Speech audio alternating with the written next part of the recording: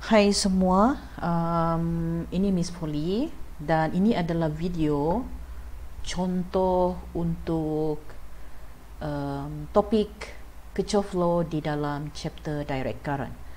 Uh, tolong ambil perhatian, saya akan menggunakan bahasa Melayu bagi memudahkan semua pelajar faham dan uh, boleh buat contoh ini setelah lihat video saya. So saya akan menggunakan uh, lit, literally mix bahasa. So saya akan menggunakan bahasa Melayu lebih banyak berbanding bahasa Inggeris untuk video-video contoh saya. Uh, mohon perhatian sekali lagi. Ini adalah topik yang akan saya tanya ataupun wajib saya tanya di dalam dewan exam. Jadi tolong faham uh, contoh-contoh ini supaya kamu boleh jawab tutorial seterusnya memudahkan kamu untuk buat soalan. Right. Uh, ini adalah contoh pertama di dalam contoh ini. Uh, sebelum itu, bagaimana saya tahu saya perlu menggunakan kecoflo untuk menyelesaikan satu-satu soalan yang saya sediakan. Now, di dalam soalan kamu, kamu akan diberi part ini. So, kamu akan diarahkan untuk menggunakan kecof law ataupun peraturan kecof bagi mencari satu-satu nilai di dalam um, soalan kamu. Dalam contoh ini, anda kamu disuruh mencari nilai arus ataupun current pada setiap resistor. Now, um, terdapat soalan juga yang me- menginginkan kamu untuk mencari voltage, voltan ataupun nilai perintang atau resistor. Nah, untuk contoh ini kamu diminta mencari nilai I. So, bila mana saya menggunakan Kirchhoff law adalah apabila saya bagi anda arahan ini. Apabila saya katakan anda perlu menggunakan or you need or you require to use the Kirchhoff rules, anda tidak boleh menggunakan uh, Ohm's law ataupun peraturan Ohms untuk menyelesaikan atau mencari nilai I di sini. Um, sangat jelas dalam sirkuit ini ataupun dalam litar ini sekarang, anda sebenarnya boleh menggunakan Ohm's law untuk mencari nilai I. Tetapi saya tidak akan gunakan nilai uh, Ohm's uh, saya tidak akan menggunakan peraturan ini kerana saya diarahkan menggunakan Kirchhoff law. So itu adalah antara key point ataupun clue di mana anda perlu menggunakan kecof law bagi menyelesaikan soalan tersebut. Baik, kita teruskan. Apa yang perlu saya buat terlebih dahulu sekiranya saya diberikan soalan ini? Nah, first sekali anda perlu melukis di mana directions of the current atau where is the directions of the current. Now bagi uh, uh, uh, uh, um, right bagi okay sorry now bagi uh, soalan ini arah current akan saya gunakan dakwat warna merah dan arah loop akan saya gunakan warna hitam ataupun biru. So macam mana saya tentukan arah current arah current selalunya akan ke arah kanan saya atau ke arah kiri saya. Anda mempunyai kebebasan atau anda diberi kebebasan untuk menunjukkan atau me, uh, uh, membuat di mana arah current yang anda inginkan. Selagi saya tidak berikan arah current ini di dalam soalan. Sekiranya saya berikan siap-siap arah karan ini di dalam litar anda, anda terpaksa menggunakan arah yang saya berikan. Namun, sekiranya saya tidak berikan sebarang arah, sama ada untuk karan ataupun loop, anda boleh mem, uh, anda boleh decide di mana arah karan mengikut keperluan anda. Dalam kes ini, saya akan tentukan ataupun saya akan gunakan arah sebelah kiri saya sebagai arah karan saya. So arah current saya untuk litar ini saya decide for myself I've dis- I decide for myself that the the directions of the current is towards this way and go down to the resistor seterusnya akan melalui saya punya EMF kedua melalui resistor pertama dan kembali ke tempat asal saya. Now Jika anda lihat litar ini secara keseluruhan tidak terdapat simpang di mana-mana yang menjadikan nilai current saya itu berubah. Oleh itu, saya tahu secara logik arah current di sini atau nilai current yang ada di sini adalah sama juga dengan nilai current yang ada di sini dan sama juga dengan nilai current yang ada di sini. Kerana saya tidak bertemu sebarang uh, simpang atau junction. Saya akan berikan contoh yang melibatkan simpang kemudian. Okay setelah saya selesai dengan nilai current ataupun dengan arah current, saya seterusnya akan tentukan arah loop saya. So, apa itu arah loop? Arah loop ada dua cara. Satu adalah by following the clockwise direction. The other one is by following the anti-clockwise directions. Now, ini juga sekali lagi anda diberi kebebasan untuk memilih sekiranya saya tidak tentukan di dalam soalan. Selagi saya tidak uh, restrict anda untuk menggunakan anti-clockwise ataupun clockwise, anda bebas menggunakan mana-mana arah loop ini. So dalam case ini saya akan menggunakan um, clockwise, saya akan follow clockwise directions sebagai arah loop saya. So ini adalah arah loop saya. Saya simbolkan sebagai L. Okey. Uh, boleh follow setakat ini kan? Saya harap anda boleh follow setakat ini. Sekiranya tidak, anda boleh ulang video ini daripada mula. Right. So saya sudah selesai dengan step pertama saya saya iaitu menentukan arah current. Step kedua saya iaitu menentukan arah loop. Seterusnya, saya perlu menggunakan kedua-dua law saya yang saya sudah bincangkan dan terangkan kepada anda di dalam video kuliah saya sebelum ini. So, saya akan gunakan satu persatu. Saya akan gunakan first law terlebih dahulu. First law katakan di dalam satu circuit atau di dalam satu litar yang tertutup jumlah current yang masuk itu pada satu simpang adalah sama juga dengan jumlah current yang out. Ini adalah statement pertama first law of Kirchhoff. Statement kedua di dalam first law of Kirchhoff, di dalam satu litar yang tertutup, saya punya jumlah current adalah sentiasa equal to zero. Kerana saya mengikuti the conservations of energy in a circle. Jika masih jika anda masih ingat saya uh, video uh, penerangan yang saya berikan di dalam video kuliah sebelum ini. Now, uh, dengan menggunakan first law ini, saya akan keluarkan current daripada circuit saya di sini, memandangkan saya uh, circuit yang saya yang disediakan kepada saya untuk soalan ini hanya ada satu sahaja loop dan tidak ada banyak simpang oleh yang demikian, persamaan pertama saya atau my first equation will be just like this one. So this is my first equation. Now di dalam soalan yang lebih complicated, anda akan tahu kenapa saya um, simbolkan setiap equation ini dengan nombor. Saya akan terangkan lebih lanjut di dalam soalan yang lebih kompleks selepas ini.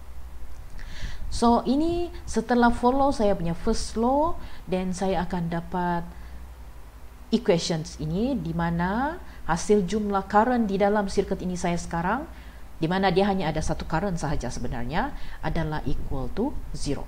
So this is the first equation which gain from the first law. Setelah menggunakan first law, saya seterusnya menggunakan second law saya untuk menyelesaikan persamaan saya. Now, second law state that penjumlahan uh, V saya di dalam satu closed circuit adalah hasil penjumlahan ataupun hasil jumlah produk atau hasil jumlah uh, uh, uh, uh pendaraban di antara current dan juga resistor. Sekiranya di dalam litar anda terdapat resistor lah. Kalau tiada resistor, then penjumlahan V kamu hanya akan melibatkan V yang datang daripada power supply. Statement kedua daripada second law adalah menyebut tentang penjumlahan V pada satu litar tertutup adalah sentiasa equal to zero. ini uh, juga mengikuti the conservations of energy. Now menggunakan equations ini atau menggunakan law ini, saya akan keluar dengan equations ini yang kedua. Now, uh, untuk menggunakan equation kedua, anda perlu tahu bahawa ingat anda menjumlahkan semua voltage di dalam litar anda dan voltage di dalam litar anda pada kes ini sekarang ada empat nilai. Now dari mana empat itu? Pertama daripada power source saya, which is saya punya first power source. Uh, the, kedua adalah uh, voltage daripada power source kedua yang bernilai 10 volt. V yang ketiga adalah datang daripada hasil darab current yang lalu pada resistor satu iaitu I didarab dengan nilai R1 iaitu 10 ohm. Okey, boleh follow yang ini setakat ni? Now, kenapa saya bezakan voltage di sini dan juga di resistor kedua? Uh, obviously, voltage yang dipunyai atau yang diterima oleh resistor pertama dan resistor kedua akan berbeza kerana nilai resistance yang berbeza. Okey. Uh, nilai voltage yang diterima di sini di resistor pertama akan mempunyai nilai yang lebih kecil berbanding yang di sini. Kerana nilai resistance di R kedua adalah lebih tinggi. Jadi V di sini juga akan berbeza. So V yang lalu pada resistor pertama adalah hasil darab di antara current dan juga resistor pertama saya. Manakala V yang lalu pada resistor kedua adalah hasil darab di antara current dan juga R2 saya. Di mana R2 nilai dia adalah 20 ohm. Okey, boleh follow setakat ini. Jadi, sekarang uh, tugas saya adalah mengumpulkan semua voltage yang ada pada litar saya di dalam satu persamaan kerana second law menyebut tentang jumlah.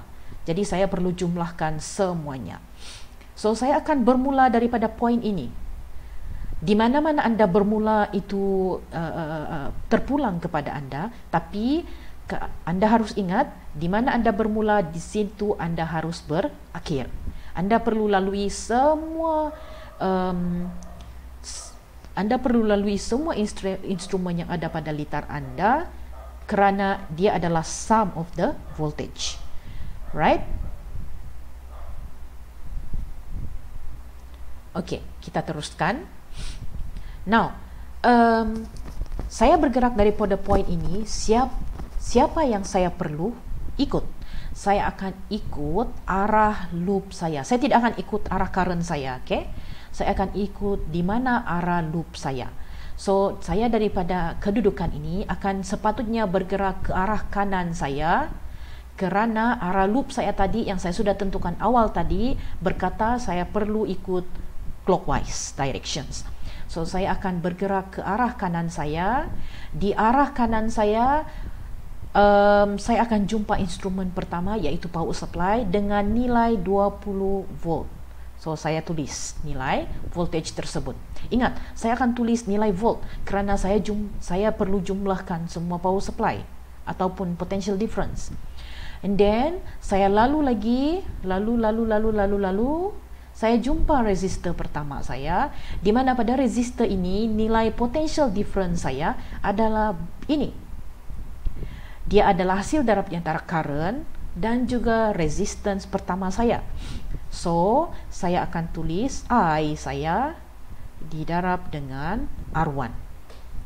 Okay, and then saya jalan lagi jumpa power supply saya yang kedua. Power supply saya yang kedua potential difference dia adalah 10 volt. Kemudian saya melepasi uh, potential difference ini untuk melalui instrumen terakhir saya iaitu resistor kedua. Potential difference saya di resistor kedua adalah hasil darab di antara current dan juga resistor kedua. Jadi I didarab dengan R2 dan saya mesti berakhir di tempat saya bermula tadi dan saya stop. Di sini saya akan tulis equal to zero kerana statement ini. Penjumlahan V pada closed loop mesti sentiasa equal to zero. Okey. Kenapa saya tidak tulis sebarang sign di sini? Kerana seterusnya, langkah seterusnya adalah untuk menentukan sign. Sepatutnya semua sign pada setiap nilai ini adalah positif kerana sum due to the sum. Tapi kalau anda masih ingat uh, saya ada sebut di dalam uh, video kuliah saya di mana arah untuk ataupun nilai untuk ataupun sign untuk voltage akan ditentukan oleh arah pergerakan loop dan juga arah pergerakan current saya. Saya ada sebut di dalam video tersebut, kalau saya lalu potential different, saya akan lihat loop saya bergerak dari terminal mana ke terminal mana, betul? Dan kalau saya lalu di di resistor pula, saya akan lihat perlanggaran di antara arah loop saya dan juga arah current saya. Apakah arah current saya adalah sama arah dengan arah loop saya atau arah current saya berbeza arah dengan arah loop saya? sign itu ditentukan oleh perkara tersebut. So, untuk menentukan sign yang ada di hadapan 20 volt, IR1, 10 volt dan IR2, saya perlu bergerak kembali mengikut jalan saya tadi. Mengikut arah loop ya, jangan tinggal arah loop. Okay, uh, uh, direction utama anda adalah arah loop. Itu yang uh, second step anda, anda perlu menentukan arah loop terlebih dahulu. Right. So saya bergerak kembali mengikut arah loop saya dan saya dapati pada bateri bateri ini saya bergerak daripada positif terminal ke negatif terminal. Kalau anda masih ingat analogi yang saya berikan di dalam lecture video saya, saya beritahu kalau anda turun daripada puncak bukit UMS, anda berada di sini, anda turun ke dari puncak UMS, bukit UMS ke kaki bukit UMS anda akan memerlukan energi yang rendah untuk turun kerana pergerakan dia senang due to gravitational value Uh, memandangkan saya memerlukan energi yang rendah untuk turun, energi yang berlebihan terdapat di dalam diri saya, saya akan buang. Dan buang itu saya akan letak sign negatif. Analogi yang sama saya gunakan pada pergerakan ini. Apabila loop saya bergerak daripada positif terminal ke negatif terminal, saya tidak memerlukan banyak tenaga. Bila saya tidak memerlukan banyak tenaga, saya akan buang tenaga yang berlebihan terdapat pada diri saya. Hence, saya punya sign of the V over here supposed to be equal to negative. So, di depan ini adalah negatif. Anda boleh follow setakat ini.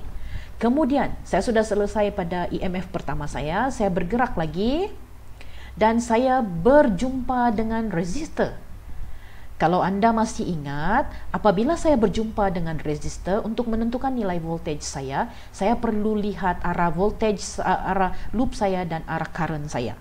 Adakah arah current dan arah loop saya bertentangan arah ataupun sama arah? Now dalam case ini sekarang pada resistor pertama kalau anda lihat arah loop saya adalah berbeza arah dengan arah current saya kerana arah current saya datang daripada ini, arah loop saya datang daripada atas. Kalau anda masih ingat analogi saya sebelum ini di dalam kuliah, sekiranya arah loop saya dan arah current saya berbeza, anda boleh bayangkan diri anda sebagai perenang di lautan. Apabila ini adalah anda, this is you, which is the directions of the car, uh, the loop, dan ini adalah directions of the gelombang di laut. Apabila anda berenang di laut dan anda mem, uh, berenang bertentangan arah in opposite directions with the directions of the wave, anda memerlukan tenaga yang lebih supaya anda boleh melepasi tenaga yang dipunyai oleh gelombang tersebut dan adalah anda boleh sampai daripada satu poin renangan anda ke satu poin yang lain. Analogi yang sama untuk kes ini. Apabila arah loop saya berbeza arah kerana saya perlu melawan uh, arah arah arah current ini, saya perlu tenaga yang lebih tinggi. Untuk mendapatkan tenaga yang lebih tinggi, saya perlu tambah tenaga saya. Jadi, sign untuk di hadapan ini adalah positif. Anda boleh follow analogi saya kan? Kemudian, saya bergerak lagi. Saya sudah lalui, saya sudah uh, kalahkan current di sini. Seterusnya saya akan saya bergerak ke next instrumen saya yaitu EMF kedua. EMF kedua saya bergerak dari negatif terminal ke positif terminal. Anda bayangkan anda daripada kaki gunung ini atau kaki bukit mau naik pergi atas puncak of the UMS Hill. Anda perlu lebih tenaga supaya anda berjaya sampai ke atas puncak. Jadi, pertambahan tenaga itu anda perlu tambah. Jadi nilai yang sama untuk di sini apabila anda bergerak, loop anda bergerak daripada negatif terminal ke positif terminal, anda perlu tambah. Dan akhir sekali, saya bergerak ke resisten terakhir saya. Pada resisten terakhir saya ini, saya dapati arah current saya turun ke bawah sekali lagi saya mempunyai direction yang berbeza dengan arah current saya. So sama dengan perkara di resistor pertama, saya perlu tambah tenaga saya dan sign saya di sini adalah positif. Right. Boleh follow setakat ini dan seterusnya kita selesaikan seperti biasa kerana saya sudah lengkap dengan segala sign saya. Jadi saya tuliskan 20 volt sekali lagi di sini. Masukkan nilai resisten kerana saya ada nilai resisten yang diberikan pada circuit so I didarab dengan untuk R1 R1 nilai saya adalah 10 ohm.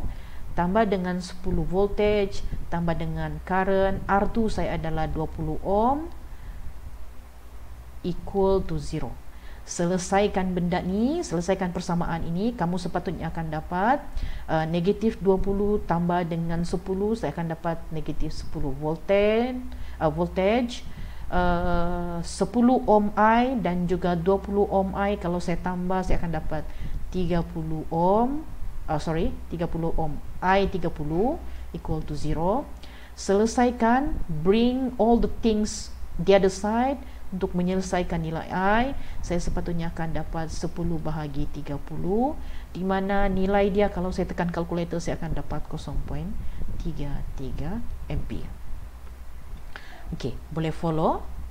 Now, sekarang saya sudah mencapai objektif soalan saya di mana nilai current saya adalah positif 0.33. Anda sebelum saya mengakhiri video ini, saya ingin beritahu satu lagi. Um, nilai current anda atau sign current anda pada jawapan terakhir anda menunjukkan sama ada arah current anda yang anda tentukan awal-awal tadi, yang anda anggap awal-awal tadi itu betul atau tidak. Now, uh, jika anda lihat nilai current di sini adalah positif. Ini menunjukkan bahawa anggapan awal anda di mana arah current itu ke arah kiri adalah betul. Sekiranya anda dapat negatif value di akhir jawapan anda, anda tidak perlu tukar nil uh, uh, arah arah current anda, tetapi kekalkan jawapan final anda dengan sign. Sign itu menunjukkan bahawa arah current anda dengan nilai anda adalah salah. Tetapi anda tidak perlu tukar arah current anda. Dan itu sahaja untuk video ini. Terus tonton video seterusnya bagi contoh-contoh yang lain. Terima kasih.